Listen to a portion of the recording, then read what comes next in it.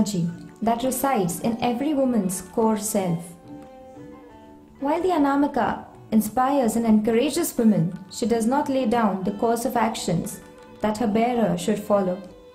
Presenting Anamika.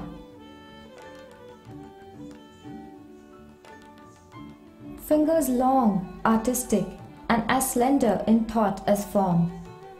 Not a name to trust, but a hand to hold on she slithers.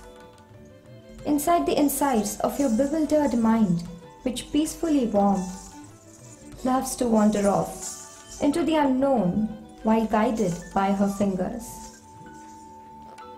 She tries to hold on as long as you hold on to your mind, a mind that is but a flutter of the bird that migrates often blind.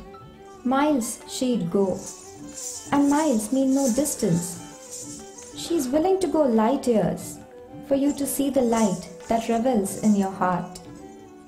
She won't spare a moment unused, for she knows you'll glow, full of life to live, and death shall decorate another soul so blank and art.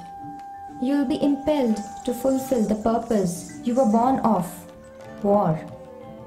The purpose you were meant to live a million mistakes for.